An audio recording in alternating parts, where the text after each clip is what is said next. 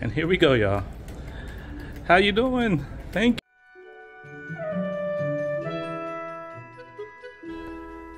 If you like what you see, why don't you think about subscribing? And make sure to check out my channel for videos just like this. What's going on, folks? It's me, Mr. Bucket List here, and today I'm aboard the Wonder of the Seas, where I'll be presenting a full tour and review of Wonderland. Let's check it out.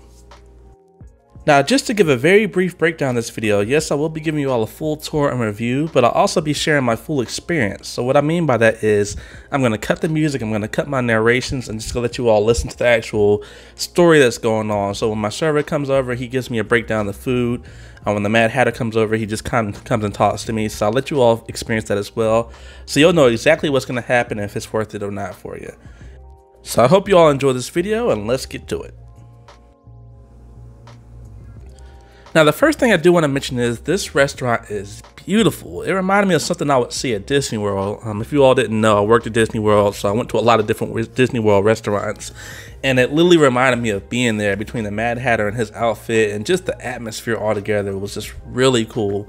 Um, not to mention, it was multiple levels. Um, so when I went on the Quantum of the Seas, um, they have Wonderland as well, but it was just a lot smaller one level and it just felt really cramped. But this one is huge in comparison. It's just a really nice restaurant. Another cool thing that you all probably saw is that it has very large windows, and what it does is it stares out into the back of the ship. Um, so it's pretty cool. It stares out to basically the um, boardwalk area of Wonder of the Seas. And then for anyone that was curious, I actually did have this meal and this experience um, by myself. So this was a solo cruise, but the reason why I was by myself was this was actually one of the first things I did when I got on board for my cruise. Um, I scheduled my dinner for I believe it was like 5:30 or 6 o'clock. I didn't want to miss the sail away, so I made it pretty early. And so it was a solo cruise. I really hadn't met people yet because I had just got on board, and so I did have this dinner alone. Um, if you all were curious about it. Another thing I want to mention is they did actually have candles, but they are all electric candles. So, of course, if you're on a cruise ship, if a candle falls over, it lights a fire, it's pretty much game over for everybody. And so they actually do play it safe and they do actually have electric candles. It was pretty funny. This guy couldn't get this one to work for whatever reason, but for anybody that was curious about it, that's what's going on. Drunk already. okay, make sure, huh? Alright, so as you know, Wonderland is an imaginative vision inspired by Alice in Wonderland. Uh huh. Now, our journey will begin now. So you have the menu in front of you, Uh huh. and we have the brush here. So now you need to start brushing the menu. Okay. So in the meantime, it is still sparkling water or some regular water for you, sir? Uh, regular water, please. Regular water. Okay, y'all, here we go. Oh, this is so crazy. I just want to cut in and give some brief things to go over. So as you all saw, you do receive a menu that you have to paint with like a little paintbrush and some water. And that's how it pretty much shows what's available. And then what they actually do is they actually decide what they want you to eat. So it's actually pretty cool. It's pretty controlled. So for this one, if you grant me and the chef, we can create a tailor menu for you. Where you can experience a little bit the sun, the eye, the fire. It's gonna come like a single bite or like a sharing dish. So you can experience a little bit of everything. Is it fine for you? Absolutely. Perfect. Cool. And followed by the earth and the sea, it's our main course. So for this one, we'll have to pick up either from the earth or the sea. Okay. But just to let you know, we do have two small appetizers also there. Mushroom risotto, mm-hmm. it's an appetizer. Liquid lobster, it's an appetizer also. Okay. And the rest, it's a main course. Okay. Got it. Do you have any preferences I can recommend you? Like meat, fish, or I do like meat, and I'm I'm a YouTuber, so something that looks amazing. Um, but the unique thing about that is the more people that are with you, the more options, the more food you're going to receive, and basically the more examples of just strange food you're going to have at your table. And so, obviously, since I was by myself, I got the least amount because I'm just it's just one person. Um, so kind of keep that in mind if you're going with a large family, or if you're just going with like a date or something, or if you're going solo like myself. It's going to be a variety of different food that you're going to see depending on how many people you have in your party. Here is our bird nest. Okay. Now we're gonna see the bird fly. Here we go. One, two, and three. Oh. Wow. Here That is go. crazy. Cool. This is our bird nest from the element of fire. It's a half boiler. Fill Mm-hmm. it with fill it up inside with cheese, sriracha, spicy mayonnaise, and on the top we have a tempura crumb, and it sits on a katafi dough. Katafi dough is a crispy pastry. Mm-hmm. So in this one you can eat everything in this one. Second one from Dynamite of Sun has a lime marinated shrimp. It's a deep fried shrimp, very crispy outside, but inside it's very tender. Uh-huh. And we serve it in a scotch bonnet fork. You will find it in the espresso cup. So you can have the shrimp.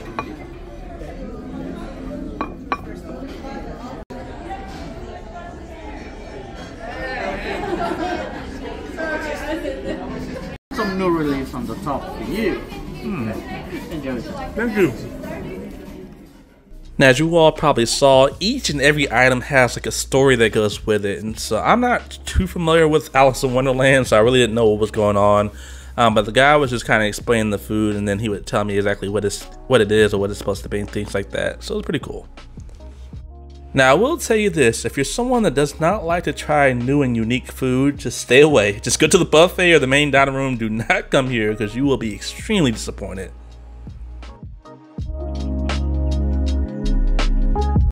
that's a braised beef short rib. Oh. it looks like a chocolate bar. Alright, cool. It's the braised beef short rib. It's braised in a red wine sauce for six hours. Mm-hmm. So with a mashed potato. And we're gonna start red relish, apple puree, palm tomato, butternut squash puree, yellow relish, and together with a Bordelaise sauce. So whenever you have a bite, you can have any relish or any sauce you would like. Oh, cool. Okay. Enjoy. Bon appetit, sir. Thank you. And then finally, after you get your cycle of appetizers, you receive your entree. And so for mine, it was like this beef.